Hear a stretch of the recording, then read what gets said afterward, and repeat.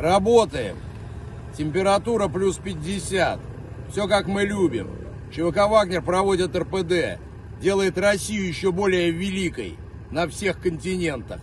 А Африку еще более свободной. Справедливость и счастье для африканских народов. Кошмарим ИГИЛ, Аль-Каиду и других бандосов. Берем на работу настоящих богатырей и продолжаем выполнение задач, которые были поставлены и которые мы давали обещание, что справимся.